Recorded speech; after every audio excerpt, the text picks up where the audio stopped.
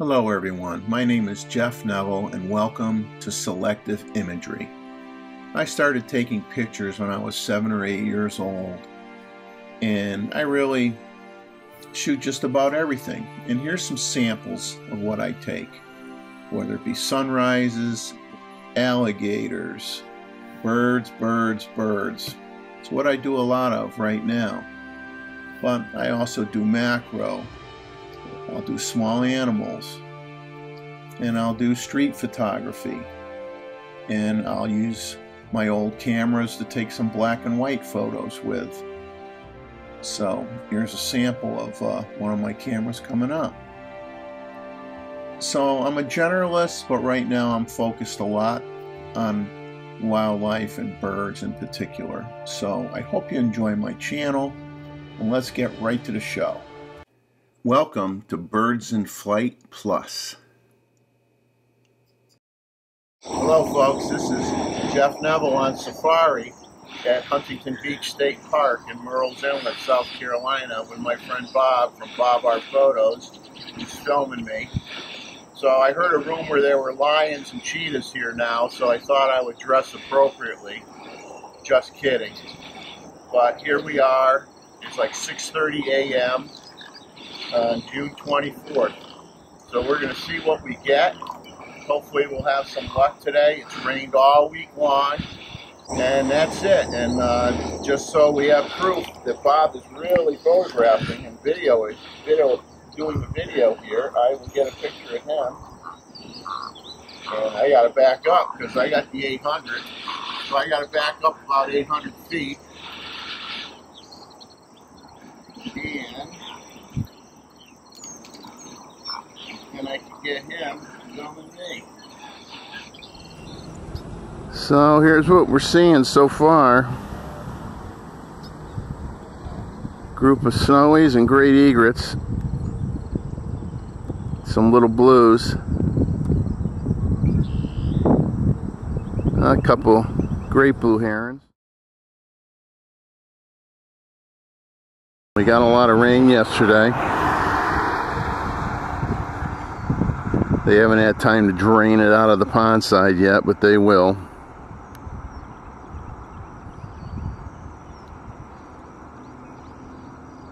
Overlook areas where you're coming to the park. So that person's leaving.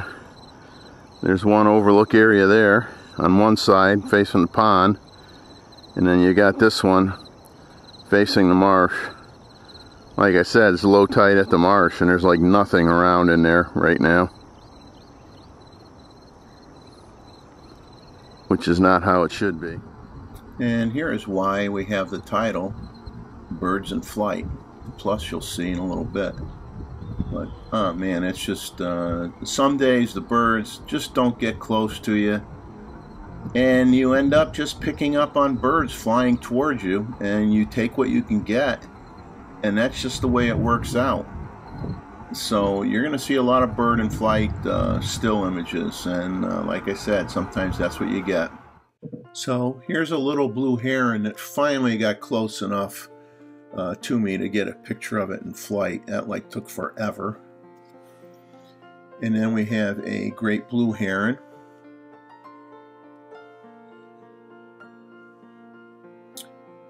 followed by a Roseate spoonbill. And we have, uh, boy, they're pretty, aren't they? Follow that up with a wood stork, which we have not seen a lot of wood storks this year. I mean, I'll talk about that more in a little bit. And uh, earlier in the, in the video clip, you saw all the great egrets that were all hanging around and eventually they started to peel off and fly near me, so I captured images of them. And that was a lot of what that particular, or this particular morning was. And here he or she is coming in for a landing. And does a great job of sticking it perfectly. You get a 10. I don't know if people realize that uh, these birds were hunted near extinction, in the 1800s and early 1900s for their long plumes that were on ladies' hats. And uh, these shots I like because, man, you really get a sense for how big the wingspan is on these birds. They're up to four and a half feet across. You don't realize it until they're coming right at you. And here's a wood stork. I like the way the the wings are positioned on this one. And um, tricolored heron. Yeah, some people absolutely hate bird and flight pictures where you have the sky, and it's like I don't know what the hang up is. You gotta you you gotta shoot what's available to you. And yeah, sure, when you have a background, it does look better, but sometimes you get the lighting that's just perfect on the bird when they're in the sky. And so don't discount it. I mean, uh, like I, have said many times, I'm not fortunate enough where I get a lot of fluffy clouds down here in South Carolina. It's usually either gray or white or dark blue. And then when you have your 800 and they do get close to you, take a headshot. Here's a uh, red-winged blackbird.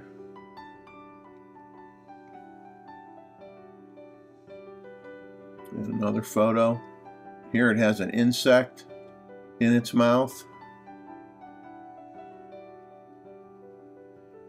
And here's a short video clip, and you can see that that insect that's trapped in its mouth. Now it's relatively close to what uh, my friend Bob and I were calling um, Gator Island. And the gators have not laid on that island in quite a while. The grasses have gotten very tall and there is a red wing blackbird nest in those grasses. So um, the male here eventually is going to go back to the nest with that food item and feed it to the babies. I'm not, you know, or feed it to mom. I'm not sure. I'm not sure. I don't hear the sounds. You can't, if there are babies that have hatched, you can't see them yet.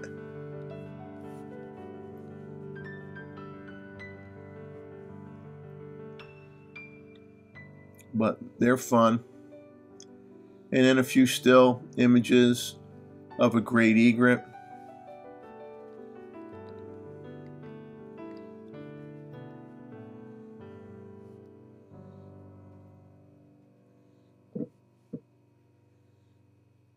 So I did manage to get some pictures of birds that aren't flying around, and here's a, pretty decent sized gator going through the water.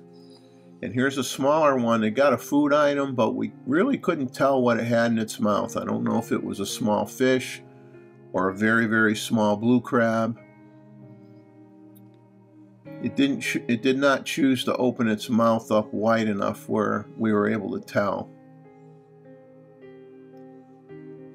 And then, of course, we have the two-tiered approach here: the uh, the spoonbills in the foreground and the great egrets in the background. And um, here an egret is uh, trying to get some food. And speaking of getting food, it's always fun to watch the anhingas uh, get their fish.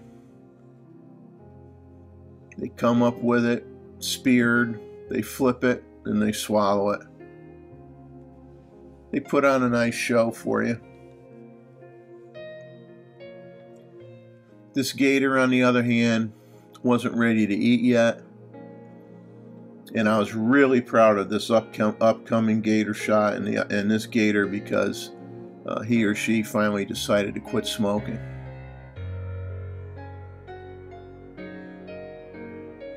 Finally, a pair of spoonbills show up with the wood storks. Mr. Bell.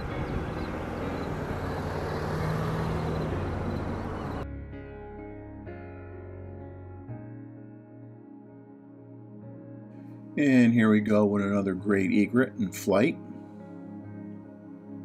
That's why we named this Birds in Flight for this episode. And uh, here's another video clip of the wood stork. Some wood storks hanging out with a spoonbill.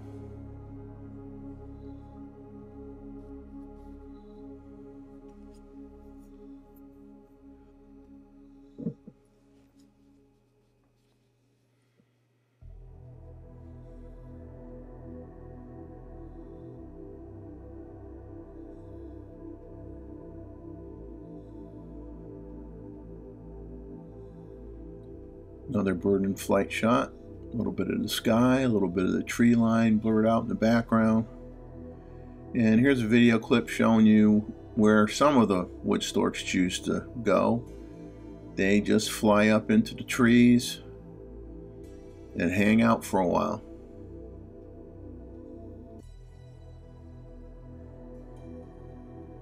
Like I said, their numbers are much small, uh, lower this year. I mean, you would have a bunch of them in the marsh side, and it, it looked like an army. They'd all be lined up, they'd all be marching uh, together back and forth while they're trying to get food.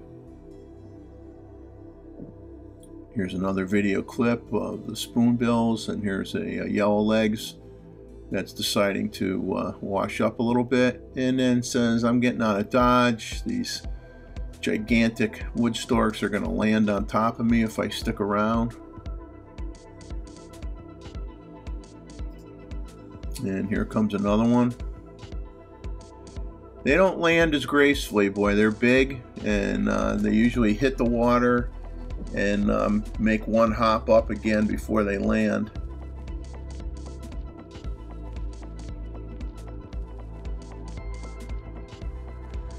And not a lot of water, I mean, for them to be playing in, I'll tell you that.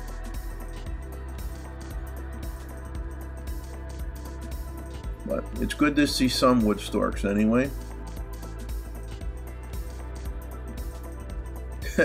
that one almost runs right, lands right on top of the other one.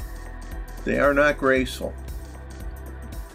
That word uh, does not describe them at all.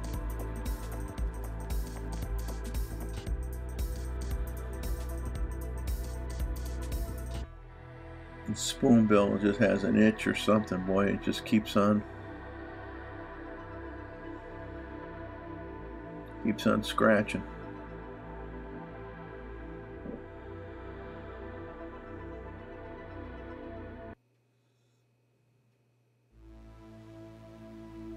This one's cleaning up. Preening itself with the sun hitting it.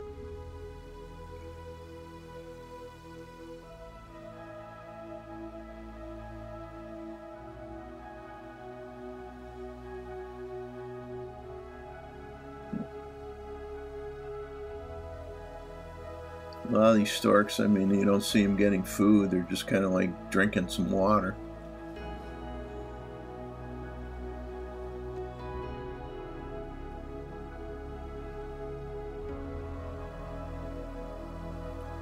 Water temperature has to be pretty high. I think one day on the news they said the beach, the water temperature at the beach was like 85 degrees. So I mean that's like that's like taking a warm bath.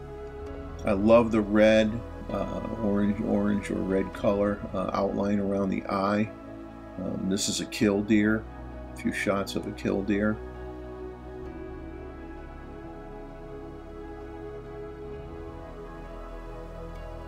Cute bird. Sometimes you find them out in out in open grassy areas too, not even near the water.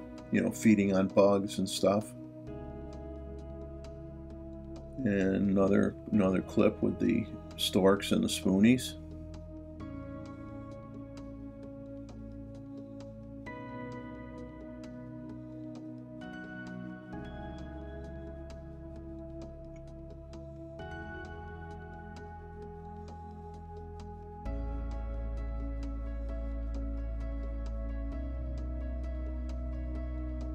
water levels so low uh, lots of times when the when the birds are walking you know they'll be lifting up a big clump of mud uh, on their feet.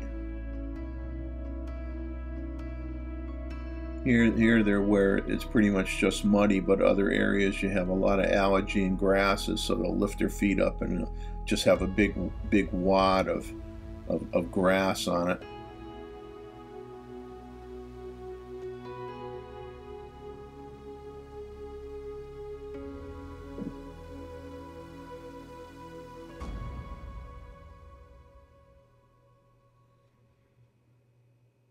Sometimes the wood storks, like I said, you, you, get 50 or more all lined up, and when they're not feeding and they're all lined up, they just look like soldiers and they, they don't even move. They just stand perfectly still. And one of uh, everybody's favorite small birds in the park, the painted bunting. They are beautiful birds. And this is a video clip. This one is at normal speed. And he's just like walking across, following the uh, the reeds and grasses here, and kind of poking his, you know, turning around his head a little bit, like looking in there. So I'm sure if he spotted a frog or something along the water line there, uh, it would take it out.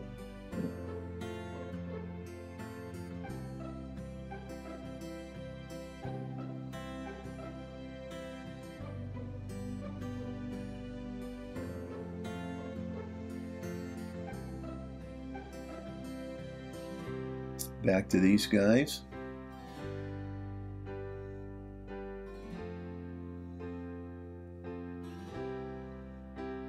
Oh, that spoonbill just got a big wad of mud in its mouth. I don't know. I don't know why it like that. Hopefully there was something good to eat buried inside that dirt.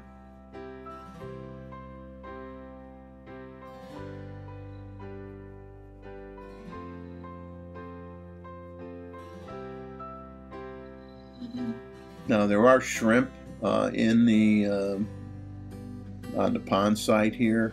Um, shocked how many crabs there have been uh, for the gators, although it seems like their uh, quantities are diminishing. And unless the crabs like to cross over the road from the marsh side to get into the pond side, um, we may have a problem down the road, especially if they don't open up the the gates to let the water flow from the marsh into here, but they're keeping the water artificially low. Uh, but that's going to limit the food supply at some point.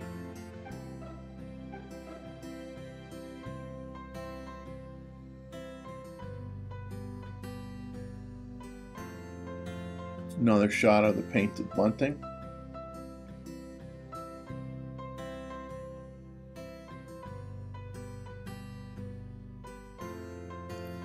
And here's a gator getting a little exercise.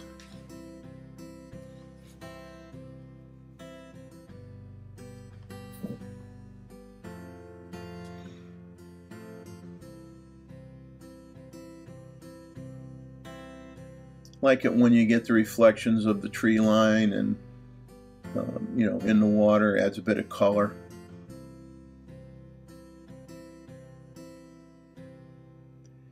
and here's a clip of uh, some spoonbills landing joining their friends now this one particular one landed and so I started to pan over to the right as you'll see in a second thinking oh I'll pick up on the other ones as they fly in because when one comes in there's usually more to follow.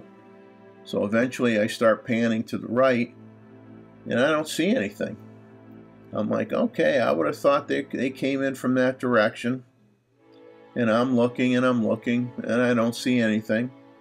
So eventually I go back and uh, okay, here's there's an there's another uh, spoonbill, so it snuck in from somewhere else and now some more come in. So um, eventually they show up. Lots of times they're just hiding in the tall grasses on the marsh side. You can't even see them. They're tucked in there. Other times you'll you'll see like a a little armada of them flying in, uh, you know, half a dozen or so at a time, and, and then landing. But uh, sometimes they just they just all of a sudden just show up uh, out of nowhere, and, and you know they were just hiding in the in the grasses. You can see some shorebirds in the background. Here's a wood stork, lower level shot.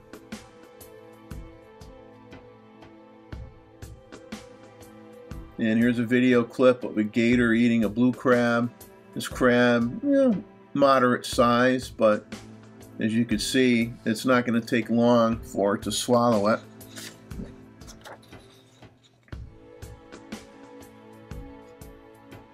There it goes. Now watch watch the blowing of the bubbles um, from the alligator. Now I looked that up because I've seen that a few times where after they've eaten something, uh, they start blowing bubbles. And I says, is that some kind of you know special behavior pattern or what have you? So I just put the question in to the internet, and uh, here's what I got. It just says alligators have evolved over time to be able to breathe through their skin by having specialized cells. These enable the alligator's body to absorb oxygen and release carbon dioxide while on land as well as underwater. This is why they will often blow bubbles from their mouths when in the water. It helps them extract more oxygen from the atmosphere than if they were just to hold their breath. So, okay, there's the official explanation for the blowing bubble alligators.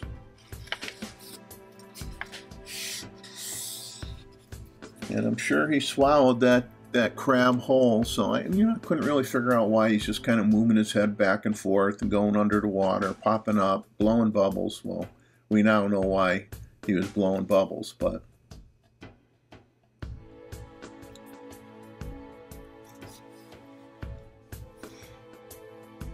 When you watch any species, you know, whether it be a particular bird or a reptile or whatever. I mean, you're always learning something new all the time. You see something that you didn't pick up on before or didn't think anything of it. And then when you start seeing it more often, you say, oh, I got to figure out what's going on.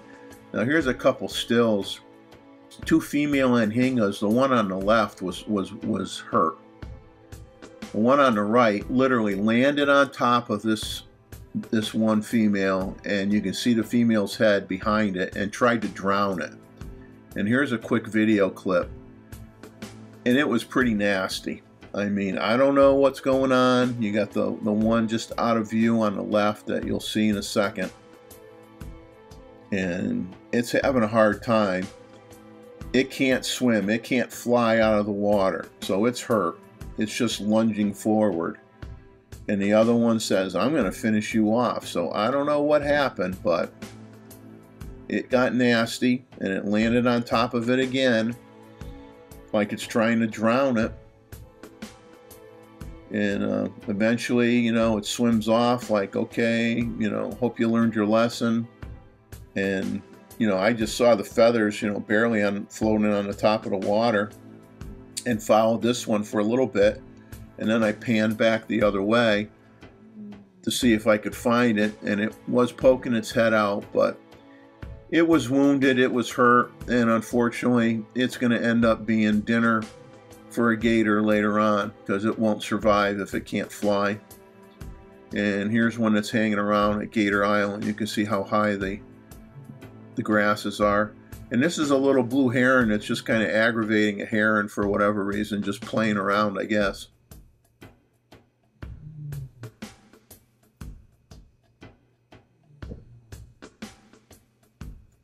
I love it when they're changing, their, feather colors are changing. Now, this is a, a video clip of spoonbills and uh, great egrets that are on an island that's, you know, on the pond side, you know, somewhat in the middle of the pond. And they hang out here all the time. So this is one one section where, you know, they're excuse me, they're pretty far out if I didn't have the 800, I wouldn't even be filming this, um, be able to film this. They're pretty far out, and uh, and they hang here, and they could sit out there for hours and hours and hours. And uh, like I said, for most folks, they don't have the, the, the glass to be able to, to, to reach them.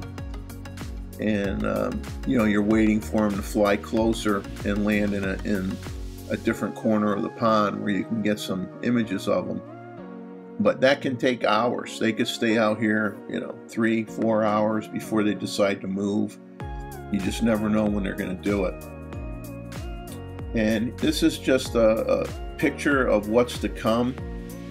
This is the ruins of the walkway out from the nature center that's in the middle of the marsh. And I'm going to use some of those stills as like fill-in or separator uh, separators between these video clips. And um, here we are back at the island again. You can see in the background, you can see a gator, I'm going to call it swimming on the left hand side. more like crawling, and a few uh, other shorebirds in the background.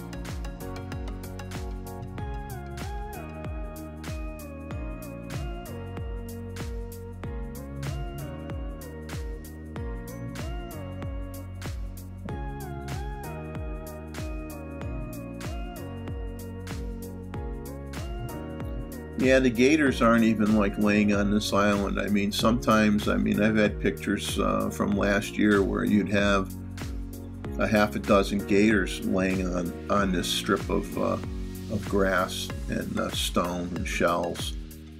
Uh, you wouldn't have birds there at all. You would just have the gators. But at this point in time this year, it seems like it's it's populated by the birds and the gators have pretty much stayed away. And here's another clip, and you can see uh, these two are kind of like playing around with either a stick or, or pieces of cord grass. And here's a video clip. Um, that was an overlook area. You can see all the damage uh, from a hurricane. Can't remember what it was last year, but uh, th there have been no um, efforts to date to remove any of this damaged area and start rebuilding it. You're going to see some people in the picture. You're going to see Bob from Bob Art Photos there uh, with the camera camera around his neck, and uh, he's as far out as you can go on that walkway. I mean, they did add some boards on the bottom and extend it out a little bit, but um, you can't walk out anywhere near as far as you used to, and there'll be a subsequent video where you'll see you know, really how far out you used to be able to go. In the meantime, you're going to just see some clips of the spoonbills having fun, um, hanging out, and okay, there you go. There's the damaged area. That dark line you see is where the uh, walkway continued. And here they are. They just love playing with with the cord grass and the sticks and you know, of course, these guys all flew over from the, they were on the pond side, and eventually they all took off, and we wondered where they went. So we went out to the nature center and decided just to, you know, take a peek at what's left of the walkway. And to our surprise, spoonbills were all hanging out here.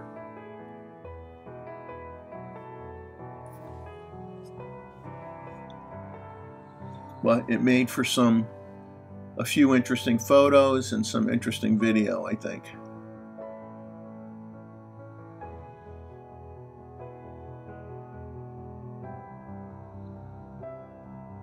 just have a fascination for, for putting uh, sticks in their mouth.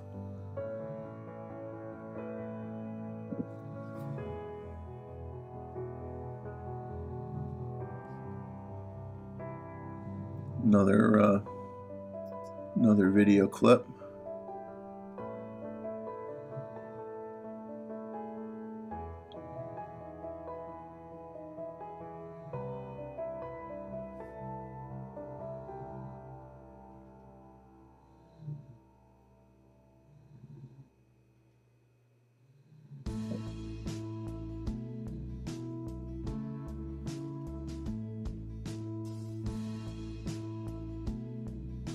Definitely having a great time. They like hanging out with each other.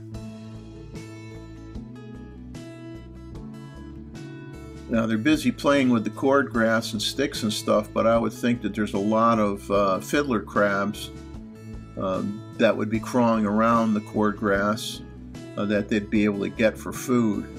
But I didn't really catch any of them uh, eating food items. They were just too busy playing. I got a still image coming up that I like because it's almost like somebody's trying to make these guys uh, walk the plank. You know, okay, guys, you're you're out of here. Walk the plank. We have another video coming up. This will be the last video clip. Uh, this will be like the end of the the end of the road here. Uh, you're going to get to see you know where where this walkway extended to. Okay, that's where it's broken. That dark line is the path or part of the path, and then you eventually you connect it to a platform that was fairly large that we were able to get a lot of shots of. Uh, there were kingfishers that like to hang out there, and unfortunately, we don't have anywhere to get there, and we have no idea when it's going to get repaired.